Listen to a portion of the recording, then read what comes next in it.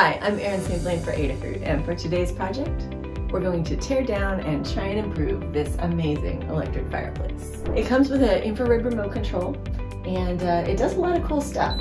If I press this button here, it will change flame color. I can do blue, green, or red, uh, or combinations of the, of the three. There's also an LED strip down here at the bottom, and then one right here at the top.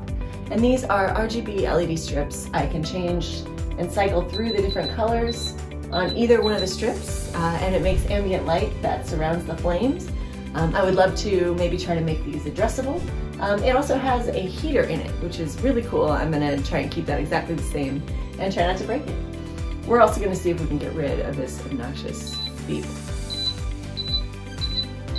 No bueno.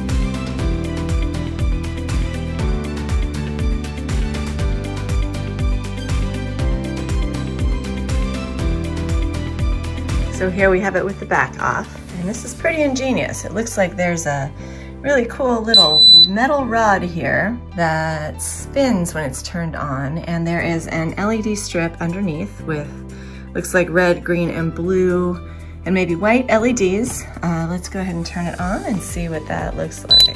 Ooh, it's bright. So this rod spins and makes a reflection onto the glass right here, which is what gives us that beautiful mirror effect.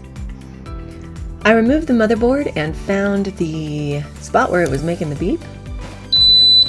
And on the other side was a piezo speaker, so I unsoldered it and problem solved. The beep is gone. Next I set up the LED NeoPixel strip.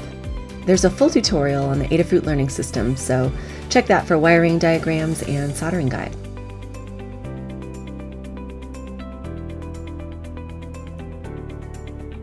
I installed the LED strip from the front of the fireplace, just right on top of the existing strip.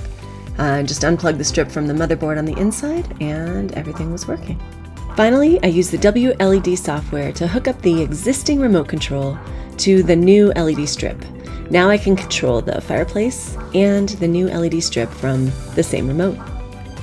I made modes that look like embers or rainbows. It's really easy to make interesting modes with WLED.